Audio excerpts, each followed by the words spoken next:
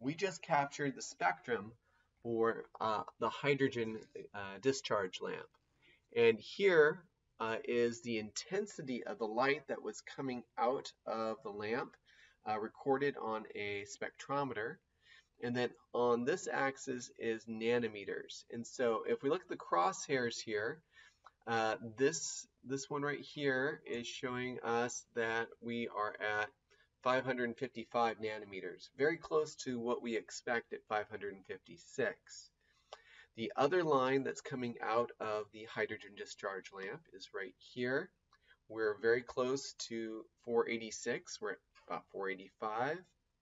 Here is the next line coming out of the hydrogen lamp, and I'll try to get the it at the top there. We're at 433 nanometers.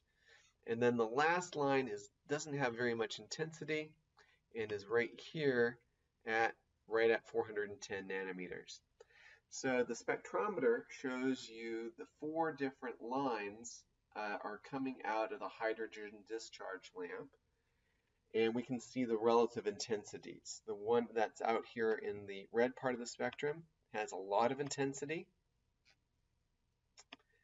And we can see that intensity right here. The relative intensity is 1.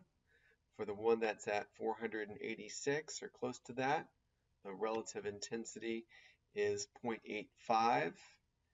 The relative intensity for the one at 433 or 432 nanometers, if I can get the peak on the top,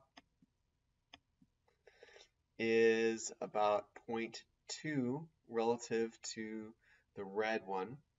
And then the one at 410 nanometers, 408 nanometers, uh, is only about 4% or 0.04 of the one out in the red.